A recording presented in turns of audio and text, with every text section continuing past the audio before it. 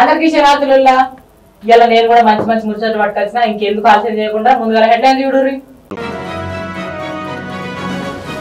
కొత్తగా కట్టిరు Ramagundam police commissionerate. ఎనిమిది నాడేనట దాని ఓపెనింగ్ డేట్ తెలంగాణలో పడుతున్న చెడగొట్టు వానలు ఇంకెన్నడు పోతాయో మన రైతుల కష్టాలు.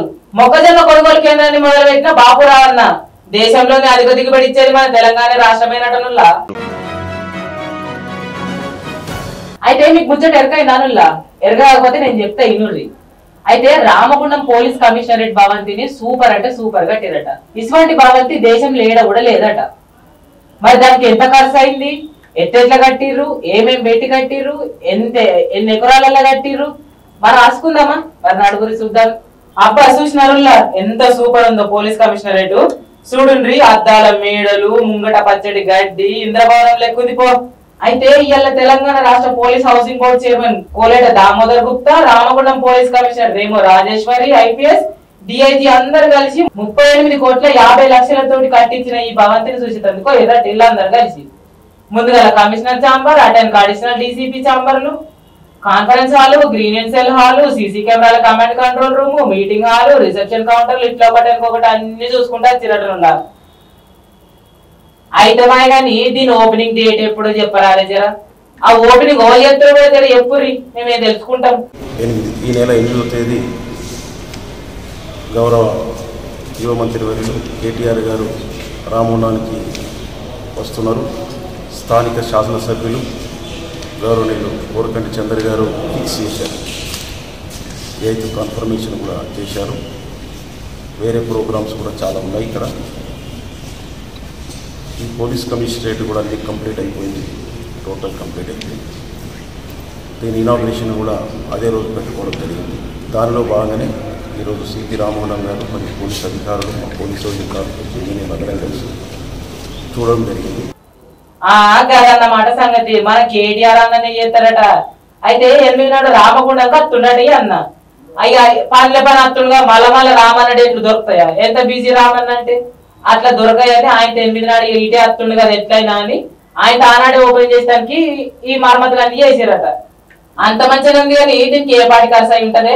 ఎంత జాగ్రత్త కట్టినో జరి ఎప్పుర్రి ఈ బిల్డింగ్ ముప్పై ఎనిమిది కోట్ల యాభై లక్షలు. బిల్డింగ్.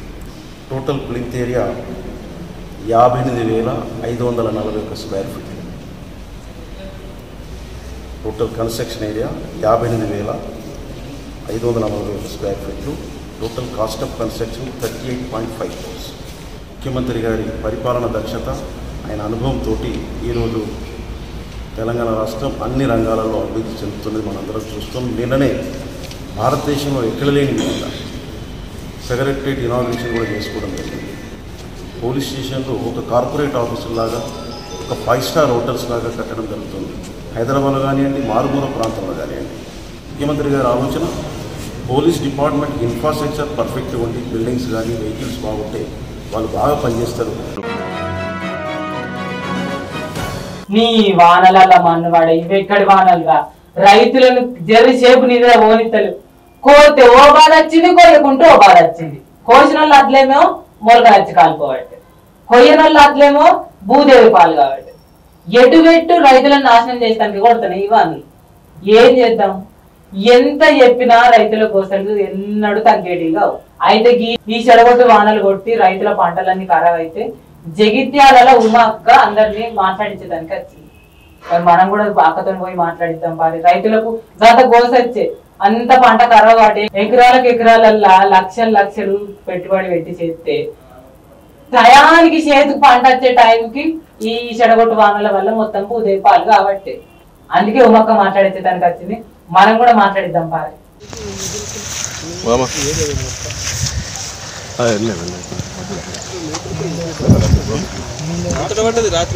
చూసినారు లాభం ఉమక్క అంత పంట పొలాలు తిరిగి ఎట్లా చూస్తుంది అట్లనే ఉపాధి పని చేసేటోళ్ళ దగ్గరికి కూడా పోయింది. అట్లనే వాళ్ళని కలిసి వాళ్ళ కష్టాలు ఏమని అడిగి తెలుసుకుని వాళ్ళ కరటి పనులు కూడా ఇచ్చింది. చూడు అక్కలు ఎంత మంచిగా మురుసుకుంటూ తీసుకుంటూ రాజపళ్ళు ఇచ్చిన కొద్ది.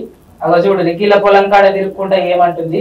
వర్షాలు విపరీతంగా వర్షాలు పడడం రాళ్ళు పడడం గాలి దుమారం దీనివల్ల మొత్తం తెలంగాణ వ్యాపితంగా విపరీతంగా రైతులు నష్టపోయినటువంటి పరిస్థితి మనం చూస్తూ ఉన్నాం. అదేవిధంగా వెమ్లవాడ నియోజకవర్గం మేడిపల్లి మండలం అదేవిధంగా పోర్మల్ల గ్రామానికి సంబంధించి ఈరోజు రైతుల్ని చాలామందిని కలవడం జరిగింది.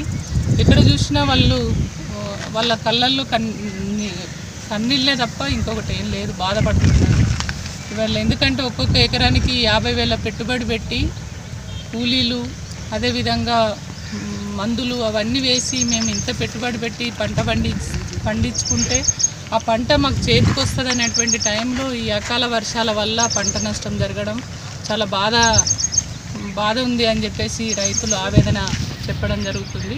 నిజంగా నాకు కూడా వాళ్ళు బాధపడుతుంటే చాలామంది లేడీస్ కూడా ఏడుస్తున్నారు. అసలు రైతులు అసలు బతుకుడా? మరి ఏం చేసుడు? మా పరిస్థితికి ఇంత దారుణంగా ఉంది. ఇక్కడ ఉన్నటువంటి ప్రభుత్వం ఏమో పట్టించుకుంటా లేదా అని చెప్పేసి వాళ్ళు ఆందోళన పడుతుంటే నిజంగా నాకు బాధేసింది నిజంగా అన్న దాదాపు ఆరు ఎకరాల పొలము మొత్తం రాలిపోయింది. ఆ వరి కూడా మొత్తం మొలకలు వచ్చినటువంటి పరిస్థితి ఉంది. ఈ ప్రభుత్వానికి మాత్రం ఒకవైపు రైతులు ఇటు వరి నష్టపోయి మామిడి తోటలు నష్టపోయి ఇటు నువ్వులు తోటలు ఏదైతేనేమో అన్నీ నష్టపోయి వాళ్ళు బాధపడుతుంటే ఈ ప్రభుత్వానికి నిమ్మకు నీరెత్తినట్టుగా అసలు పట్టించుకుంటున్న పాపాన పోలేదు. ఇప్పటి వరకు అధికారులు మరి ఈ పంట ఎక్కడెక్కడ నష్టమైంది వాళ్ళ ఆ నష్టపోయినటువంటి రైతులకి ఒక భరోసానిద్దాం వాళ్ళకి ఎంత నష్టపరిహారం అనేది ప్రకటిద్దాం అనేటువంటి ఆ సోయిలో లేడు కేసీఆర్. ఆయన పా- ఆయన ఏం చేస్తుండంటే ఇప్పుడు తొమ్మిదేళ్ళు పరిపాలించిన మళ్ళీ తొమ్మిదేళ్ళు పరిపాలించి మళ్ళీ నేను ఇంకా దేశాన్ని ఎట్లా రాష్ట్రం అయిపోయింది దేశాన్ని ఎట్లా పరిపాలించాలి దేశాన్ని ఎట్లా దోసుకోవాలి రాష్ట్రాన్ని దోసుకునుడు అయిపోయింది. అని చెప్పేసి ఎక్కడికక్కడ ఆత్మీయ సమ్మేళనాలట ఆత్మీయ సమ్మేళనాలు ఆ బీఆర్ఎస్ పేరు మీద అటు మహారాష్ట్రకు పోయి మీటింగులు పెట్టుకోవడం ఆ మీటింగులలో మీటింగులు పెట్టుకొని డ్యాన్సులు చేయడం. అంటే ఒకవైపు రైతులు ఏడుస్తూ ఉంటే బాధపడుతుంటే ఆయనకు మాత్రం వీళ్ళ కన్నీళ్ళు కనబడట్లేదు. ఆయన కల్లా బీఆర్ఎస్ను ఎట్లా ప్రమోట్ చేసుకోవాలి? రాష్ట్రాన్ని అయితే దోసుకున్నాం మొత్తం రాష్ట్రంలో ఉన్నటువంటి ప్రభుత్వ భూములన్నీ నేను కబ్జాలోకి వెళ్ళిపోయినా ఆ, మొత్తం దీన్ని అప్పలపాలు చేసినా మళ్ళీ ఇక్కడ దోసుకున్నది జరిపోయింది దేశాన్ని దోసుకోవాలనే దాంట్లోనే ఇవాళ ఈ కేసీఆర్ ఉన్నాడనేది చాలా స్పష్టంగా అర్థమవుతుంది. ఏం చేయమంటావు ఏడవకపోతే ఆరు నెలలు కన్న బిడ్డ లెక్క కాపాడుకొని పంట చేతికి వచ్చే టైంకి చెడగొట్టు వానల వల్ల ఉన్న పంట అంతా భూదేవి పాలు కాబట్టి భూమిలో పోసిన పన్నీరు లెక్క కాబట్టి మరి కాదు అక్క వేలకు వేలు తెచ్చి పెడితే ఇప్పుడు రూపాయికి రూపాయి ఒక్క రూపాయి వెనుకకు మర్రెచ్చేటట్టు లేకుండా అయిపోయాయి పంట అమ్మి బిడ్డలకు ఏం చేస్తామని కొందరు అనుకుంటారు పంట అప్పులు కట్టుకుంటామని కొందరు అనుకుంటారు పంట కోడల సాగులు కానీ ఆశపడతారు. ఏది కాకుండా నోట్ల మన్ను పోసినట్ట ఈ ఆడమని వస్తుంది ఈ చెడగొట్టు వానల వల్ల నోట్ల మన్ను పోసినట్ట అవు మరి ఎవరు కూడా పంటలు ఖరాబ్ అయితే వచ్చి చూసిపోయేటోళ్ళే కానీ ఏ ఒక్కరు కూడా రైతులకు నష్టపరిహారం కింద కింద సాయం అయిన వాళ్ళే లేరు. ఒక్కరు కూడా ఇన్ని పది రూపాయలు ఇవ్వరు మీకు ఇది నష్టమైంది కదా అని ఇచ్చిన ఆదుడే లేకపోయే. ఏడవకపోతే ఏం చేస్తారు అక్క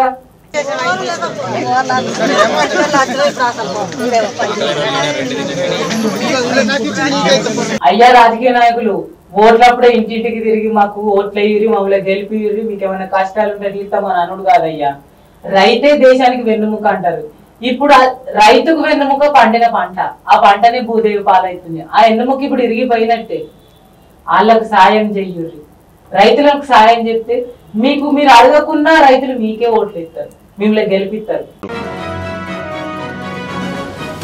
అయితే ముచ్చట ఏంటంటే ఆదిలాబాద్ జిల్లా ఇచ్చోడ మండల కేంద్రంలో మొక్కజొన్నను కొనుగోలు చేయడానికి ఒక కొనుగోలు కేంద్రాన్ని మన బాపురావు అన్న మొదలుపెట్టిందట మరి ఇంకేంది? రైతులకు మేలు జరిగే పని అట కదా. మనం కూడా పోయి తెలుసుకుందాం పారి ఎట్లా సాల్వ్ చేసిండో మనం కూడా చూస్తాం పారి తీసుకుంటే ఇవన్నీ లేచి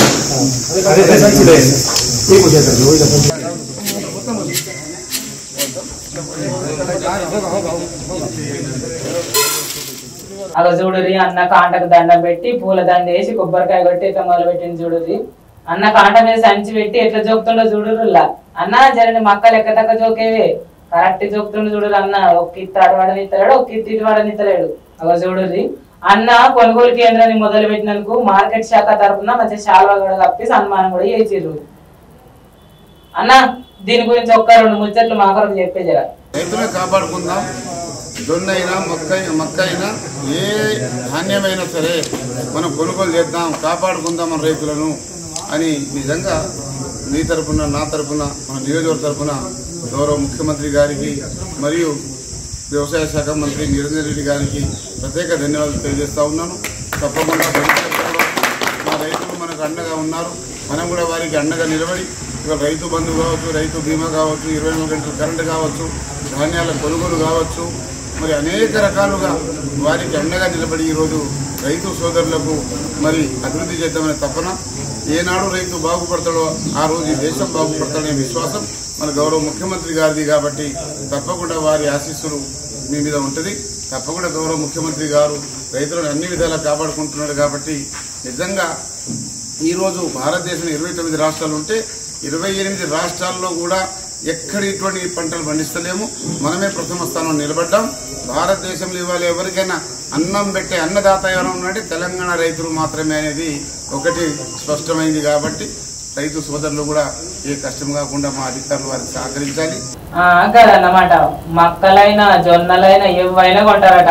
ఉండాలన్నా రైతులు ఇప్పటికే చాలా నష్టపోయారు జర అండగానైతే ఉండరన్న మీరు చూసినారులా ఒక్క తెలంగాణలే మొత్తగా వండిస్తారట ఎంత పండిస్తే ఏం లాభం? పండిన పంట అంతా భూదేవి పాలు కాబట్టి. అయ్యా రాజకీయ నాయకులు జర రైతన్నలకు సాయం చేయరన్న. మొత్తానికి మొత్తం ఏం లేకుండా అట్టి గడ్డే మిలుగుతుంది చేన్ల. ఈ రాళ్ళవాన వల్ల.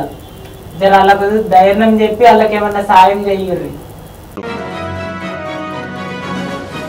ఆగురి ఆగురి ఇప్పుడు ఒక ముచ్చట ఎరకైంది ఏంటంటే ఉస్మానియా యూనివర్సిటీలో మహిళలు అందరు కలిసి ధర్నా ఎత్తుర్రట. ఆ? గాడెందుకు ధర్నా ఎత్తురు దేని కొరకు ఎత్తురు నాకు కూడా ఎరకలేదు. అరుచుకుందాం పారి ఆ చెప్పు సారీ. అసలు ఏమైంది? ఎందుకొరకు ధర్నా ఎత్తురు జర చెప్పు. రోజు మనం ఉస్మానియా యూనివర్సిటీ దగ్గర ఉన్నాము. తెలంగాణ ఉద్యమకారులు కారకులు ఎవరైతే ఉన్నారో వాళ్ళు డాక్టర్ రేష్మి స్వప్న వీళ్ళు ఉద్యమంలో పాల్గొన్నారు. వాళ్ళు ఏదైతే వాళ్ళకి న్యాయం జరగట్లేదని చెప్పేసి ఈరోజు మాట్లాడడం జరిగింది. ఈ ఒగ్గిడ ఒక అక్క మాట్లాడుతుంది. అసలు మరి వాళ్ళు ఎందుకు ధర్నా ఎత్తురు దేని కొరకు ధర్నా ఎత్తురు వాళ్ళని అడిగి తెలుసుకుందాం పారి. చెప్పక్క చెప్పు. నీ మాటలు వింటాం మేము. నేను ఉస్మాన్ యూనివర్సిటీలో MSc chemistry MA MEd PhD SET NET అన్ని క్వాలిఫై ఇక్కడే చదువుకున్నాను. నేను టూ థౌజండ్ నైన్లో మన సీఎం గారి స్ఫూర్తితోనే ఉద్యమంలో రావడం జరిగింది. ప్రపంచ దేశాలలో ప్రపంచ దేశాలలో భారతదేశం చాలా గొప్పది. అలాంటి గొప్ప దేశంలో విద్యార్థులు కీలక పాత్ర పోషించి వాళ్ళ ప్రాణాలను బలిదానాలు చేసి వేలాది మంది చనిపోయారు కూడా. అలాంటి తెలంగాణ కొట్లాడి తెచ్చుకున్న తెలంగాణ ఈరోజు నీళ్ళు నిధులు నియామకాలు. నియామకాలకు వస్తే ఏదైనా నియామకం మంచిగా జరిగిందా? న్యాయంగా జరిగిందా? ఎంతోమంది విద్యార్థులు చదువుకొని ఒక పూట తిని ఒక పూట తినకుండా ఉస్మానియా యూనివర్సిటీలో చెట్ల కింద కూర్చొని పుట్ల కింద కూర్చొని లైబ్రరీలో కూర్చొని తిప్పిన పేజీ తిప్పి తిప్పి తిప్పి చదివి చదివి అలిసిపోయింది. అలాంటి ముప్పై లక్షల విద్యార్థుల జీవితంలో వాళ్ళ జీవితాలను వాళ్ళ ఆశయాలను నీరు కార్చిన గవర్నమెంట్ ఏంటంటే తెలంగాణ గవర్నమెంట్. ఇది పేపర్ లీకేజ్ అనేది ఈ తెలంగాణ గవర్నమెంట్ చేయడం అనేది చాలా దురదృష్టకరం. నేను సీఎం గారికి కాదు సీఎం గారికే కాదు ప్రతి ఒక్క రాజకీయ నాయకుడికి చెప్తున్నాను. మీరు పడుకునేటప్పుడు ఒకసారి మీ గుండె మీద చేయేసి పడుకోండి ఈరోజు. మీరు ఎంతవరకు ప్రజలకు న్యాయం చేస్తున్నారు విద్యార్థుల జీవితాలతో ఆడుకుంటున్నారు they are doing business with students life thirty six lakhs students suffering with this Telangana government నాకు ఇప్పటికీ కేసీఆర్ గారు అంటే చాలా ఇష్టం. ఆయన మీద స్ఫూర్తితోనే నేను ఉద్యమంలో రావడం జరిగింది. ఏవైతే ఉద్యమ నాయకురాలు ఉన్నారో మహిళా నాయకురాలు వాళ్ళకి ఎలాంటి అవకాశాలు దొరకలేదు వాళ్ళకు ఎలాంటి న్యాయం జరగలేదు. ఇంకొకటి విషయం ఏంటంటే ఇప్పటికైనా కానీ టీఎస్పీఎస్సీ పేపర్ లీక్ చేసి రెండు నెలలైనా కానీ ప్రతిపక్ష నాయకులు ఎంతోమంది వాళ్ళు కూడా వీళ్ళపైన విమర్శలు చేస్తున్నప్పటికీ కూడా మన సీఎం గారు కానీ ఇలాంటి మన మినిస్టర్స్ ఎవరైనా కానీ ఒక ప్రెస్ మీట్ కూడా పెట్టకపోవడం చాలా బాధాకరం. చాలా బాధాకరం అండి విద్యార్థులు ఏం చేశారంటే మీరు బిజినెస్ చేస్తున్నారు. విద్యార్థుల జీవితాలతో ప్రశ్న పేపర్లను లీక్ చేస్తున్నారు. మన ప్రశ్న పేపరు పరాయి దేశానికి పోతుందా? ఎట్లా పోతుందండి? అంటే మీరు కూరగాయల బిజినెస్ చేస్తున్నారా? మార్కెట్లో కూరగాయలు అమ్ముకున్నట్టు అమ్ముకుంటున్నారు. ఇందులో నా వాటా ఇంత నీ వాటా ఇంత అని అమ్ముకుంటున్నారు. అంటే టీఎస్పిఎస్సిని ఎదురుగా పెట్టుకొని బిజినెస్ చేస్తున్నారు. ఈ బిజినెస్లో ఎంతమంది ఉన్నారో ఎంత ఎంత సంపాదించారో విద్యార్థుల జీవితాలతో ఎంతమంది ఆడుకుంటున్నారో టీఎస్పీఎస్ హెచ్పిఎస్సి చైర్మన్ కానీ సెక్రటరీ కానీ ప్రతి ఒక్కరి మీద చర్య తీసుకోవాలని నేను కోరుతున్నాను. అయితే మనం ఒక పిలేట్ అని కొంటాం ముల్లా. కొంటాం. దానికి మళ్ళా కట్టుకునే దానికి ఎన్ని పైసలు కావాలి? అవునా కాదా? కానీ గీడొక తాడ మంచిగా గవర్నమెంట్కి వెళ్ళి ఫ్లాట్లు వేలమేసి పిత్తురు ఎట్లాంటి ఇబ్బందులు కలగకుండా. బయట బయట కొంటే ఎన్ని అయితే మీకు ఎరికే కదా? ఈ దీంతో లొల్లి ఆ రోడ్డు కింద పోయిందనంటే ఎన్నో లొల్లి ఉంటాయి నడమల తినేటోళ్ళు ఎంతో మంది అట్లా కాకుండా ప్రజలు మోసపోకుండానే గీడొక తాడ గవర్నమెంటే వేలం వేసి ఫ్లాట్లను అమ్మి పెడుతుంది. ఇంకా దానికి ఇండ్లు కట్టుకునే దానికి మంచిగా లోన్ కూడా ఇప్పిస్తురట ఆ లోన్ వచ్చే సల్మత ఏందో కూడా చెప్తురట. మరి అదేందో అరుచుకుందాం పారి. రెండు వందలు. టోకెన్ నెంబర్ టూ చదరపు గజానికి ఐదు వేల రెండు వందలు టోకెన్ నెంబర్ త్రీ ఐదు వేల మూడు వందలు. చదరపు గజానికి.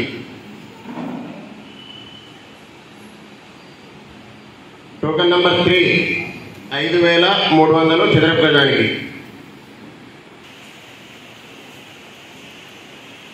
నెంబర్ త్రీ ఐదు వేల మూడు వందలు చదరపు గజానికి. అయితే పెద్దపల్లి జిల్లా రామగుండంలోని రాజీవ్ స్వగృహ అక్షయ్ టౌన్షిప్లో ఉన్న ఇరవై రెండు ఫ్లాట్లను వేలం వేసిరట. ఈ వేలం పాట గోదావరి కని సింగరేణి కాలరీస్లో పాడిరట. ఇక దీనికి collector doctor S Sangeetha Satyanarayana ఇంకో అదనపు కలెక్టర్ వి లక్ష్మీనారాయణ కూడా వచ్చారట. ఇంకెందుకు లోపలికి పోయి చూస్తాం పారి అగ చూడు రీ కలెక్టర్ అక్క కారు దిగి ఎట్లా పోతుందో. అక్క కూడా వేలం పాటలు ఏమైనా పాల్గొంటది కావచ్చు. ఆ ఇక మొదలు పెట్టున్నా వేలం పాట. ఏ పాట దాకా పోతుందో చూస్తాం మేము కూడా. ఆ, మొదలు పెట్టారు ఇక పాడురన్న పాడుర్రి. అమ్మో మాలేసుకనే పోతుంది కదా గజాన. ఇక గిట్లా పాట పాడినాక యోగి అక్క ఓ ఫ్లాట్ కొనుక్కున్నట్టుంది. కలెక్టర్ చేతుల మీదకి వెళ్ళి పేపర్లు తీసుకుంటే ఎంత సంబరపడుతుందో చూడుర్రి. అయితే దీనికి మొదటి విడతల ముప్పై మూడు శాతం రెండవ విడతల నలభై ఐదు రోజులలో ముప్పై మూడు శాతం. మిగిలిన పైసలు ఏమన్నా ఉంటే ఆ పైసలు మొత్తం తొంభై రోజులలోనే కట్టుకోవన్నట అంతేకాదు ఎన్ఓసి ద్వారా ఇల్లు కట్టుకునేటందుకు లోన్ కూడా ఇస్తారట.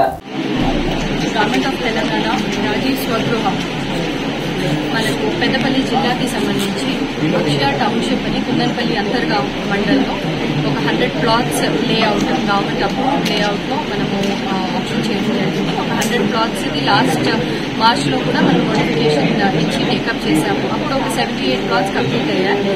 రిమైండర్ ఆఫ్ ట్వంటీ టూ ప్లాట్స్కి ఇవాళ పెద్దపల్లి జిల్లాలో ఇవాళ ఆప్షన్ చేయడం జరిగింది. ఆ కంప్లీట్ ట్వంటీ టూ ప్లాట్స్ కూడా ట్రాన్స్పరెంట్ వేలో బిడ్డింగ్ ప్రాసెస్న మనము ఇక్కడ ప్రాసెస్ ప్రిస్క్రైబ్డ్ ద్వారా మనం ఆప్షన్ చేశాము. కంప్లీట్ ట్వంటీ టూ క్లాత్స్ కూడా బిడ్డింగ్ అయిపోయాయి. అండ్ గవర్నమెంట్కి as of bidding amount three crore eighteen lakhs చొప్పున all twenty two plots happen so Peddapalli జిల్లాకి సంబంధించి మన టౌన్షిప్లో all hundred plots thank you కుతుంపల్లిలో Rajeshwara Gruha లేఅవుట్కి సంబంధించి complete layout as per DTCP norms approve లేఅవుటే మనం చేస్తున్నాము దాంట్లో ఓపెన్ స్పేసెస్ మినహాయించి complete hundred plots per available all hundred plots are sold ఇంకా ఓపెన్ స్పేసెస్లో ఇంకా కొత్తగా ప్లాట్స్ అనేటివి అవైలబిలిటీ అన్నట్టు అయితే ఏమీ లేదు. కంప్లీట్గా గవర్నమెంట్ నామ్స్ ప్రకారం ఆ పర్టికులర్ లేఅవుట్లో hundred plots per available all hundred ప్లాట్స్ని auction చేయడం జరిగింది. అయ్యా ఫ్లాట్ కొనుక్కున్నాళ్ళు మంచిగా ఇల్లు కట్టుకున్నాక గృహప్రవేశాలకైతే మమ్మల్ని వెలుగుర్రి మటన్ చికెన్ అయితే నస్తాం మరి మేము.